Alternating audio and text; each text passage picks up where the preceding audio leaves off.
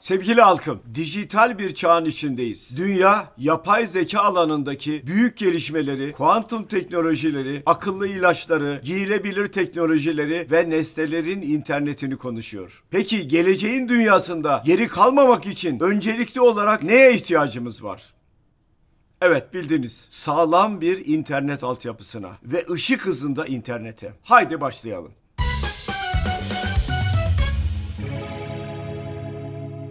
Dünyayla rekabet etmek istiyorsak 1. Türkiye'nin her bir köşesine ışık hızında internet götürmeliyiz. 2. Sık sık yaşanan bağlantı kopma sorunlarının önüne geçmeliyiz. Bunun için de sağlam bir internet altyapısına ihtiyacımız var. Gigabit internet olarak bilinen internet hızı neden tüm büyük şehirlerimizde olmasın?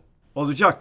Büyük şehirlerimizde saniyede 1 gigabit, kentlerimizde saniyede en az 100 megabit indirme hızına ulaşacağız.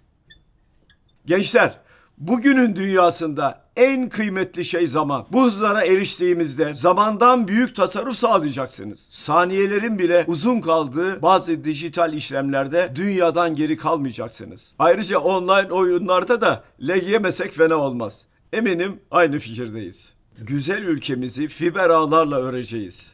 Fiber optik ağımızın uzunluğunu en kısa sürede 2 milyon kilometreye çıkaracağız. Dahası ülkemizin elektronik ve haberleşme altyapısını geliştirmek amacıyla 5 yıl içinde 35 milyar dolar yatırım yapacağız. Bu iletişim hızı sayesinde Türkiye'deki bir doktor Zürih'teki bir hastasını muayene hatta robotik teknolojiyle ameliyat edebilecek. Bankacılık işlemlerinden ticarete kadar her şey saniyeler içinde gerçekleşecek. Gençler sanal dünyada sizin için ışık hızında otobanlar açacağız. Siz de dünyayla rekabet edeceksiniz. O zaman ne diyoruz? Haydi Türkiye. Oyumuzu verelim. Düşük internet hızına, kopan bağlantılara elveda diyelim. Haydi.